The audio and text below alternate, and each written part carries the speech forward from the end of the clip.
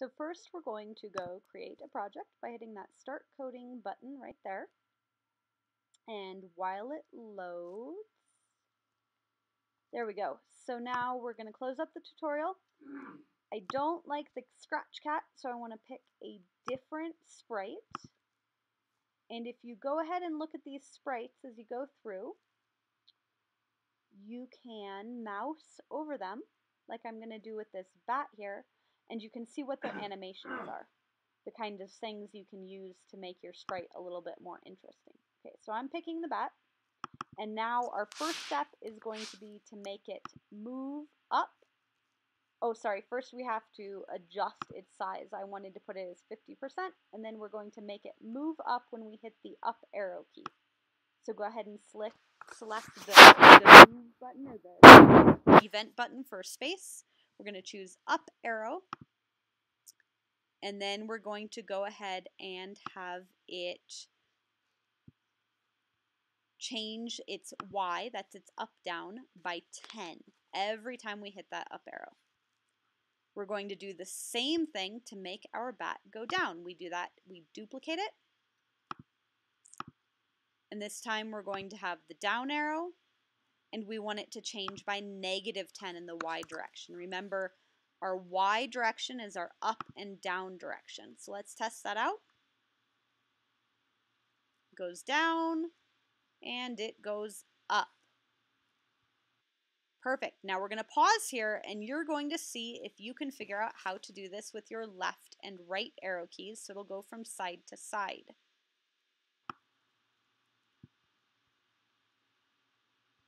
So we're going to do the same basic thing. We're going to choose our event of when the space is pressed, but we don't want it to be when the space is pressed. We're going to change that to when our right arrow is pressed, and this time we chose the change X by 10, not our Y. We're going to duplicate that make it so that when the left arrow is pressed, we're going to go negative 10. That's what's going to make us go to the other side. And then we're going to test it out because we never do too much code without testing bits at a time. Now our bat goes up and down, left and right when we press our arrow keys. Perfect. But that's kind of boring because usually when we're playing a video game, our character changes its direction when it goes up, down, left, and right. And that's what I want our bat to do. So we're going to have it point in a specific direction when it goes up, down, left, and right. So I always like to check that 90 degrees means it's still staying the way it was facing. We're going to change that so that it points the opposite direction when it goes down. Don't trust that arrow because it's having the bat face towards the right. So we want it to go negative 90 for a bat to go down. Oh, look at that. And then again, we're going to pause here so that you can try and figure out what to do with your left and right motion yourself. Don't worry about getting it wrong. Just give it a try and we'll go over it. So it's the same thing. We're going to point it in a specific direction. In this case, the direction is going to be 180 for our right. Double checking to make sure it actually is 180. And it's going to be 0 for our left. And again, we're going to test it to see if that's what we agree with, to make sure everything does what we expect. Now I specifically chose a bat that has some costume animations, and I want to go play with those here in a minute, up in the costume tab, so that my bat can flap its wings when it's flying instead of just dancing through the sky. So if you kind of click all the costumes, you'll see that some of them really aren't part of the animation. They're different. But if I go back between 1 and 2, I can see that that's what's making it flap its wings. We find our costume information up in the looks area, the purple tab. So I'm going to want to switch my costumes back and forth between A and B. But first, I want to create an if statement.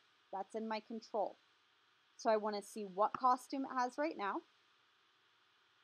We got to kind of put that in there. It's not going to go where we want it to, so we're going to put it in there. And then we're going to move the blocks that went inside of it back out to the outside.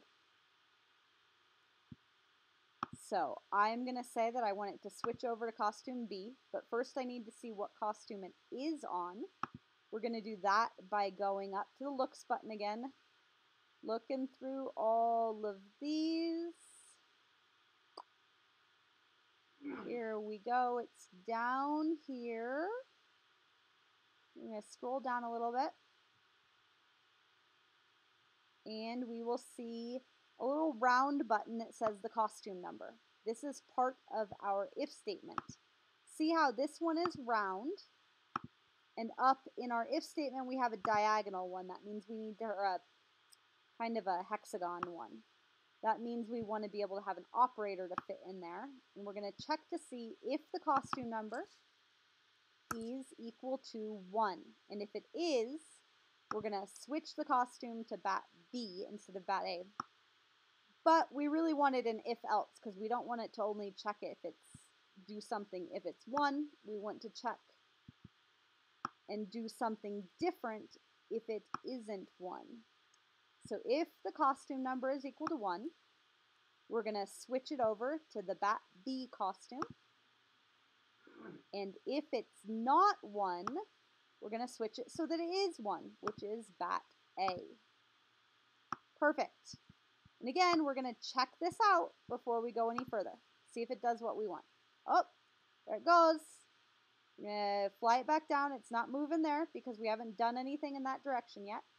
We go up and we can see it's flapping its way up the board game. Perfect.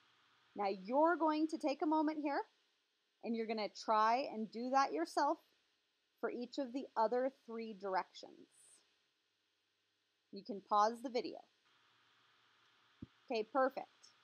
So we're just going to duplicate that block. Unfortunately, we get the ones underneath it too. So we can just drag those off to the trash because that's going to be, oh, first we'll get rid of this one. We'll drag these other guys off to the trash. And now we can just duplicate this block over and over again and put it in for each individual direction. If we were really good, we'd make these into a function, but I think we'll save that for another day. And here, let's try it out we have a bat that flies down. It goes to the side.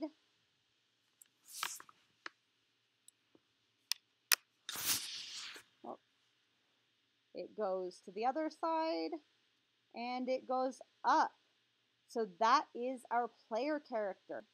Next time, we'll work on creating our enemy characters that will hurt our player.